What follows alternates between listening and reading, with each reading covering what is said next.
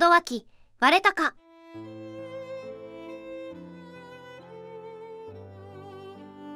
頭脳プレイか？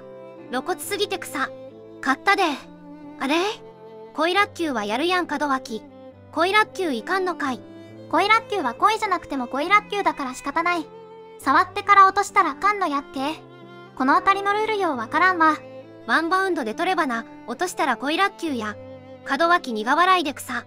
待って小番で取りたかったんやろな。野球脳はあるな。確かにわざとらしすぎて草。カープだけに恋ラッキュー。これはあかんよ W 下手か W。コウスケゴリラに戻ってくれ。門脇もちょっと下手にやれよ。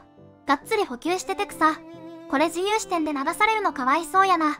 頭脳プレイ扱いにはならんのやね。バレたかって顔しててくさ。体でとどめりゃよかったのかね。とっさには無理だな。守備がうまいとこうなるのか。グラブに当てて落としたら恋ラッキューになるんやっけ？中川って体勢よりええなというか体勢いつ帰ってくるん？門脇はあとは打撃やなあなんとかならんもんか。うまいのに下手とかこれもうわかんねえな。グローブの土手とか側で引いたらよかったんやないか。恋ラッキューを許さない正義の自由視点。